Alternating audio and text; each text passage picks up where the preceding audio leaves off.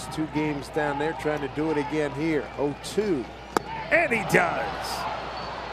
Carson Smith coming up large again in the eighth inning. Three consecutive games. He's had a big moment, and he has won it.